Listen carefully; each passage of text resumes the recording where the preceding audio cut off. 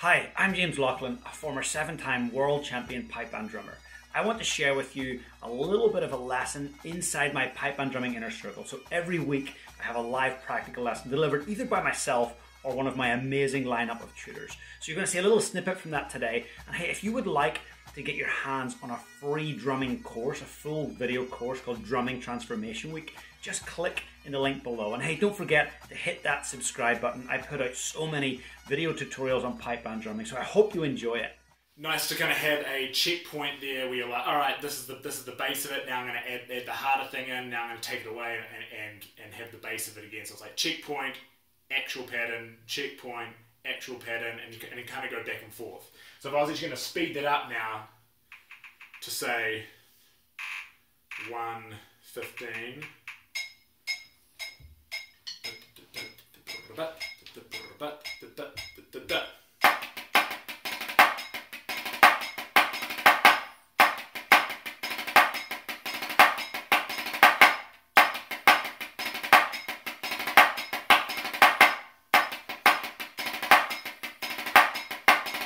Without it.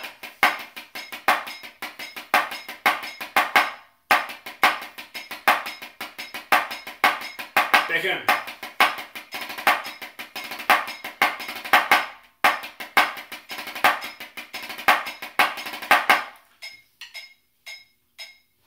Really tests kind of how, how you're going with it if you really understand the rhythmic notation of what you're doing. Instead of kind of going, uh, I'm going to guess, I'm going to guess, I'm going to guess, you know, and it's kind of becomes a real, a, a real messy roll.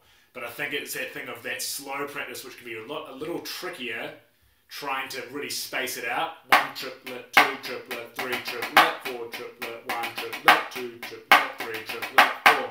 One triplet, two triplet, three triplet, one triplet. Okay. Hey Melvin, thanks for joining us. Um, I'm just on page 29 of um, James's Volume 2 book. We're looking at the uh, phrase workout strathspey number one. So, just so you know, um, right now we're on exercise one, two, three, four, five. Exercise number five. Um, and the reason why I'm doing some of this is because I, because we're learning a new strathspey um, for our MSR, and I think there was a time we were playing it, and I was just like, oh, I just I, want to I want to kind of refine these these single fives. I just, I just want to make sure I'm really nailing it. And I think sometimes we, we might be a little forward, and we might get excited.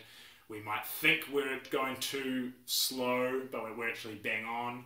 So it's that thing of just like working with the metronome, and I'm a, a, a big fan of working with the metronome by myself, but also with uh, with the other drummers in the corps as well. So yeah, that one is exercise number five. Um, so yeah, if there's any questions on that, okay, if I was really going to kind of sum that, sum that up so far, it's it's that slow practice first it is the taking the, the 16th notes away and just playing the rhythmic foundation of the 8th note triplets, and then it's bringing those 16th notes back in and just and, and really trying to make sure you're nailing it.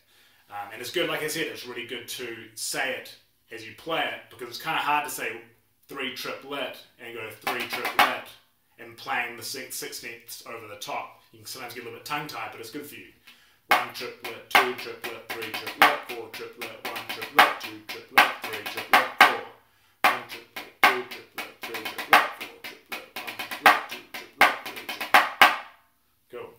I hope you enjoyed that little bit of a clip from our inner circle. If you'd like to see the full video, head on over to pipebandrumminginnercircle.com. I will put that description in the link below.